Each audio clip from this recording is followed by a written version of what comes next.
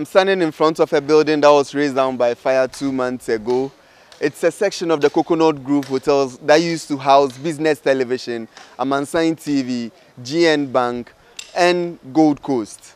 Events manager for Coconut Grove Hotels, Hugo Happenbauer, tells me that reconstruction works over here began two weeks ago and is expected to take the same period to be completed.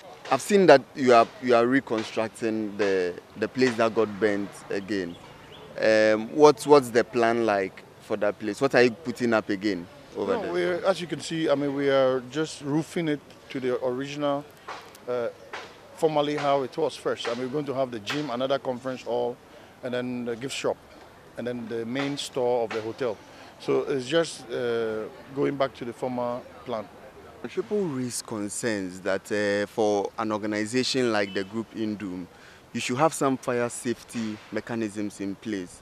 Were there not any such mechanisms in place? Why not? Every every every installation, every GN installation, every GN office, every GN uh, work work working environment has safety measures in terms of fire and all. And uh, as you can see, we've not if you check, I mean, we've not uh, violated any of the fire uh, uh, safety uh, procedures here. I mean, we are up to date with our our our registration of the fire extinguishers.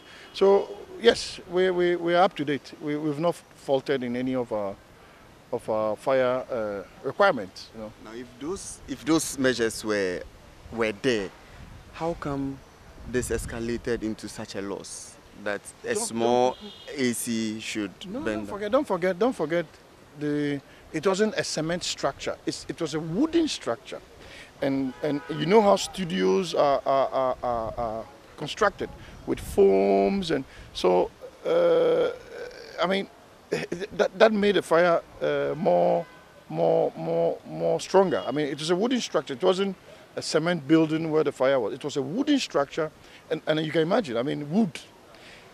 The fire service did their best, but we expected uh, something better from them. But uh, that wasn't what we expected because five hours not able to put a wooden structure fire off raises a lot of questions. And we, we saw they are, that they were handicapped, I mean, seriously handicapped. Have you seen the report about the cause of the fire. Do you know what caused the fire? Well, we know we knew the cause. We we had stated initially it was the electrical switch, the air conditioning electrical switch in the studio. You know, we had uh, Amansan TV studio. That, that was the initial uh, comment we had. But there's going to be a technical report to be made by I think the fire service themselves. I mean, when they bring it, we'll see how extensive the fire was. But we knew it was an electrical switch that caused the whole thing, air conditioning electrical switch.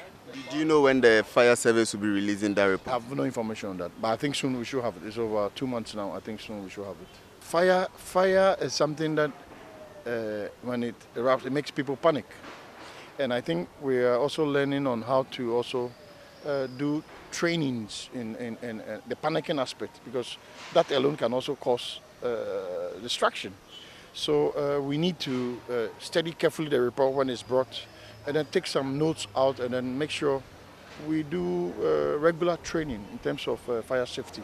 It's very important because nobody knows. I mean, we are not saying, but we need to be prevent, preventing and get these preventive measures by training staff so that the, the panic aspect of it is well controlled. Mm.